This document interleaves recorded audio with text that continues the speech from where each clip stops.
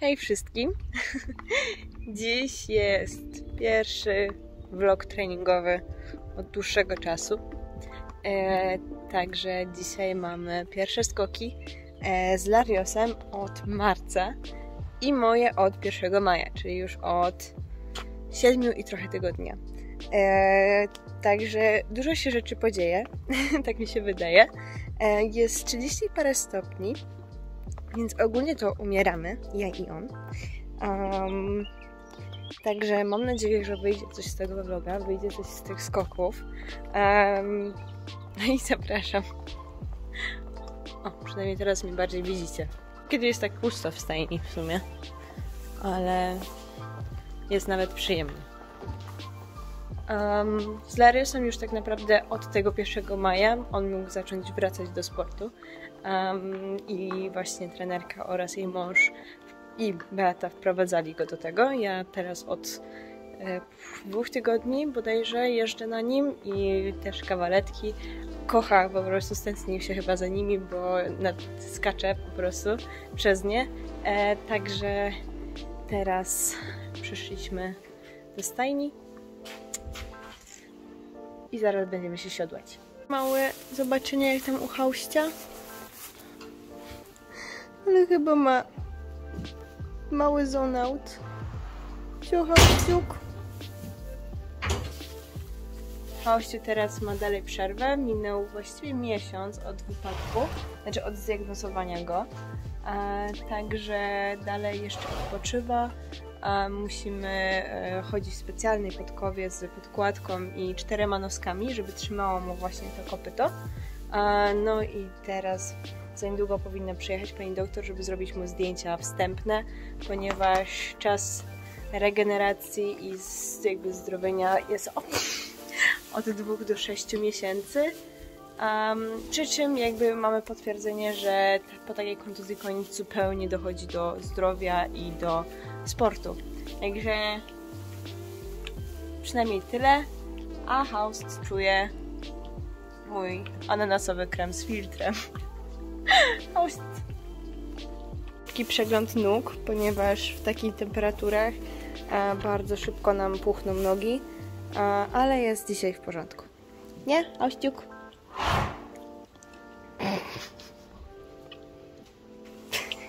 Co ty robisz? Teraz przegląd olariosowego. Cześć mały łosiu.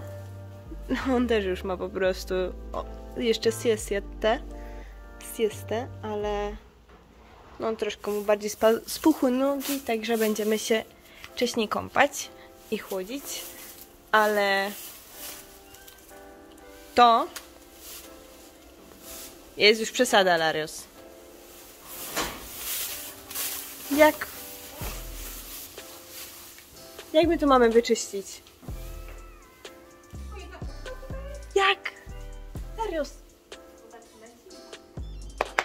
Musi się tylko zabrać. Chodzi o ochraniacze upały i to naprawdę nam się sprawdza.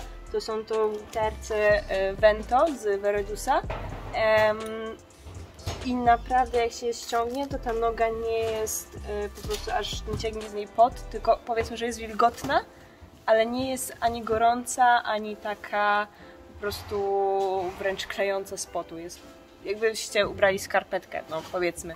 I no są super na upały, także to polecam. Jak to wygląda nasz zad po myciu szmatką z jonami srebra, także jest turbo mokry, ale przynajmniej jest w pewnym sensie czysty.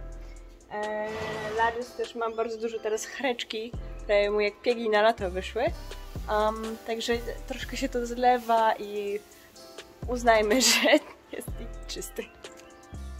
Okej, okay, my już gotowi, idziemy na trening.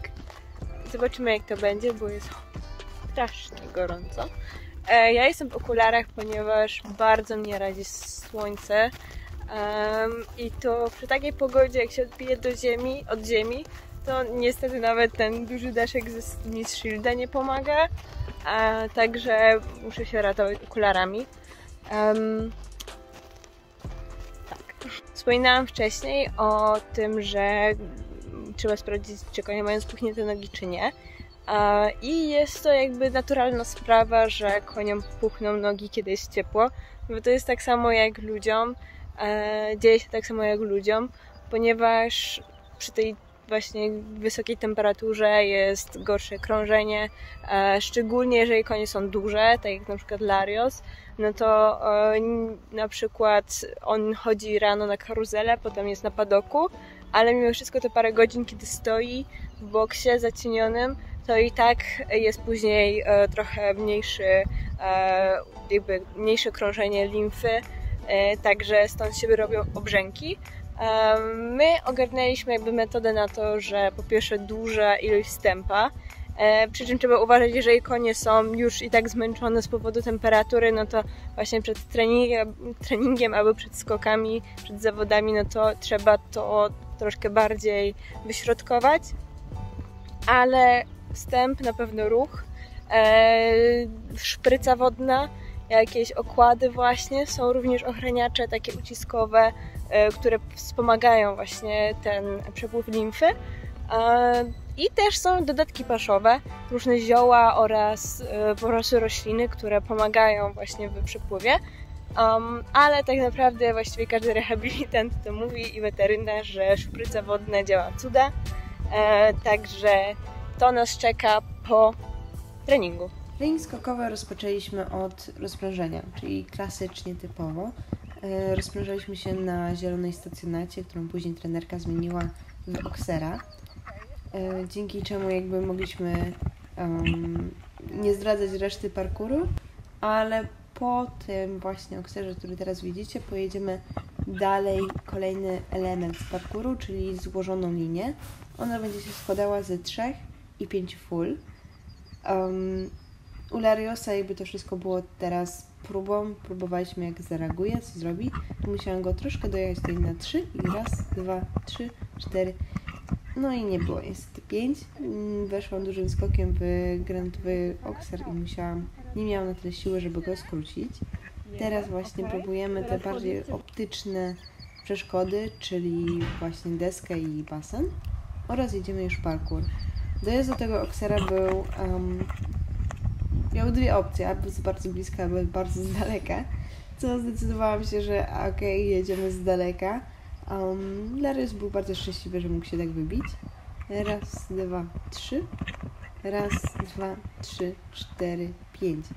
I tak musiał tam wcisnąć dosyć krótką tą będą fulę, ale daliśmy radę. Tu był bardzo ciasny zakręt na Oksera, taki dosyć wyrzucający, ale skoczył go na pełny skok, więc teraz miałam bardzo dużo miejsca, żeby go skrócić sobie i uspokoić, bo mieliśmy szereg z dwóch stacjonat, który jest, powinno się pokonywać troszkę spokojniejszym i krótszym tempem.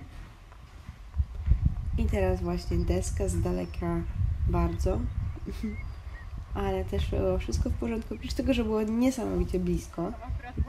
Ale tak jak mówiłam, jest to kwestia mojego oka i wyczucie z Lariosem.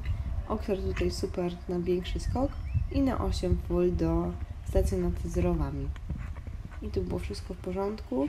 Jedynie co to wylądował krzyżując i nie daliśmy rady tego zmienić dojeździe do bramki, ponieważ było bardzo już dużo emocji. My już po, nie widzę siebie dokładnie, ale wydaje mi się, że jestem cała po prostu czerwona i mokra. Eee, trening super. No to były pierwsze skoki od naprawdę dawna.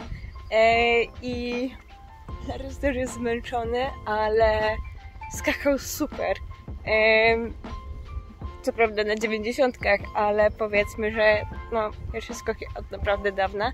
E, I z takim po prostu radością to robił. Obojętnie co tam stało, wszystko pokonywał. E, nawet musiałam po prostu go mocno przytrzymywać, żeby e, właśnie pasowało. Oczywiście nie pasowało zawsze i wszędzie, e, ponieważ ja i moje oko w tych kwestiach też musimy się jeszcze dogadać. Tak samo czułam wszystko, co zrobiłam źle, czyli właśnie łydka nie była w dobrym miejscu, po prostu kładłam się za bardzo, po prostu wszystkie te elementy takie z dosiadu skokowego, także to na pewno jest jeszcze do wdrożenia się i do naprawy ale ogólnie to bardzo pozytywnie. Teraz idziemy się regenerować, teraz będzie miał magnetyki założone i chłodzenie się, także wszystko będzie cacy i następny trening już w środę, także będziemy wracać już do normalnie do treningów i do skakania. Dzięki wielkie i do zobaczenia.